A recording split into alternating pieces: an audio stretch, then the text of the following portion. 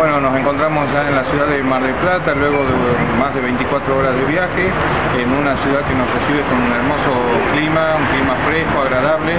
Eh, pasamos por zona bastante inundada, se ve que la lluvia tuvo su paso por esta ciudad. Eh, estamos con el equipo de atletismo completo, 15 varones, 15 mujeres, este, sub, 14, sub 16, y bueno, esperando poder este, lograr una mejor ubicación que la del año pasado en estos Juegos.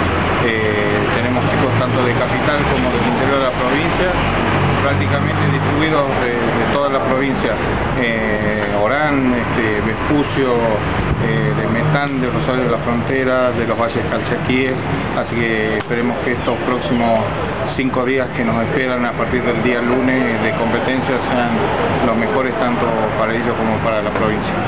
Gracias.